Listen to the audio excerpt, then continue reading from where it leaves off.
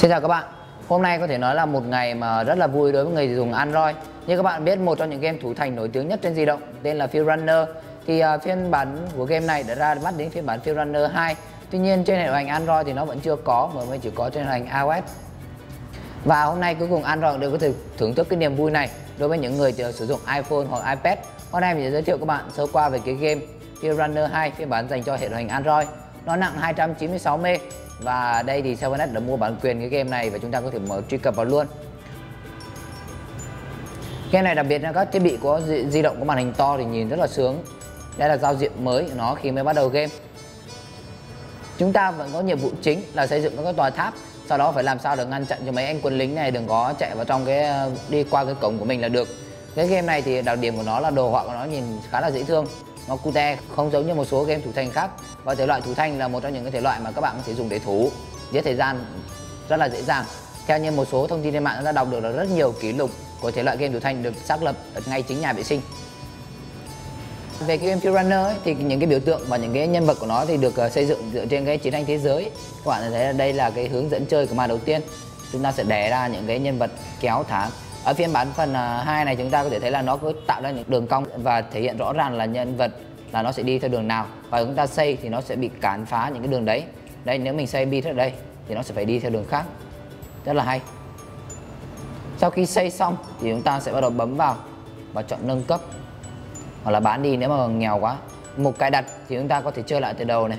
Option này, chỉnh chế độ à, nhạc này. Hoặc là chế độ mà chúng ta chế độ âm thanh chế độ nhạc rung khi chúng ta mà có nhân vật mà bị thoát qua cái cổng này. Chúng ta sẽ có 20 mạng và 20 vòng khác nhau. Các bạn nếu mà chơi sợ mất thời gian chúng ta có thể bấm tua để cho nó chạy nhanh hơn. Ngoài ra thì chúng ta dùng hai ngón tay zoom ra zoom vào để xem chi tiết cái cảnh vật trên cái game này.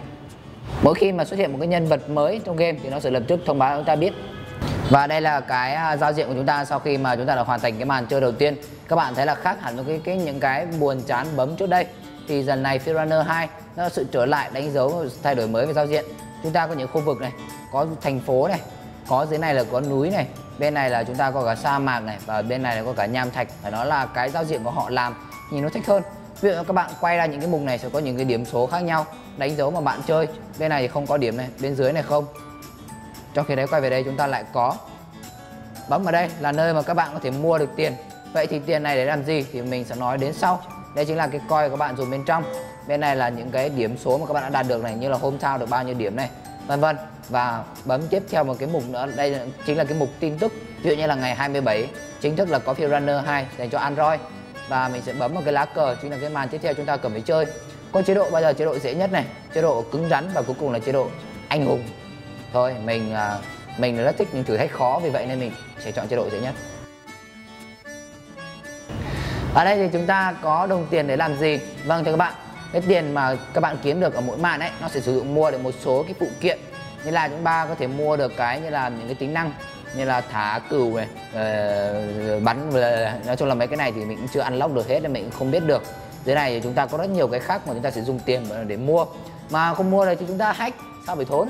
Ví dụ này mình bấm next sau đó chúng ta sẽ mua những cái phụ kiện của nó bao, bao gồm như là 20 đồng. Các bạn có thể mua một cái vật phẩm cho phép chúng ta quay lại ba vòng trước đó này hoặc là đặt nhìn này. Các bạn thả như kiểu là chúng ta thả thả ấy, ấy. xong rồi cho nó dậm phải cho nó bị ấy, ấy. Và đây là chế độ màn chơi chúng ta các bạn thấy rất là đẹp. Và ở đây thì chúng ta vẫn sẽ xây ờ, thành như bình thường. Các bạn sẽ bắt đầu những cái màn này là có những cái ta, cái tòa tháp mới như là mình có tòa tháp bắn slow, nó phọt ra một cái chất nhờn nhờn, sợ đây khiến đối thủ bị ờ, đi chậm hơn này. Hoặc là bắn ra tên lửa này, những cái cục dài dài màu đỏ này. Những cái cục dài dài mà đầu nó sẽ màu đỏ mà thân nó sẽ màu khác. Đây thì các bạn thấy là chúng ta thì cái đường của nó sẽ làm được thiết kế mới, đẹp hơn, đồ họa của nó thật sự là nhìn dễ thương hơn rất là nhiều so với phiên bản 1 và mỗi cái màn mới các bạn sẽ có những cái chúng ta sẽ có những cái tòa tháp mới và những cái item để các bạn có thể sử dụng được và như vậy thì mình đã giới thiệu xong các bạn về cái game Field Runner 2 là phiên bản mới, phiên bản nâng cấp tiếp theo, là một cái phần game mới hoàn toàn so với Field Runner 1 mình đánh giá đây là một trong những game thủ thành cực kỳ hay trên Play Store. Nó không chỉ đẹp mà nó còn thu hút người dùng với cái phong cách chơi của nó có nhiều sự cải tiến so với phiên bản trước. Và các bạn cảm thấy video này ích đừng quên like, share với bạn bè và các bạn có thể đến trực tiếp 7 để xin được cài đặt bản quyền cái game này. Hẹn gặp lại các bạn các chương trình lần sau.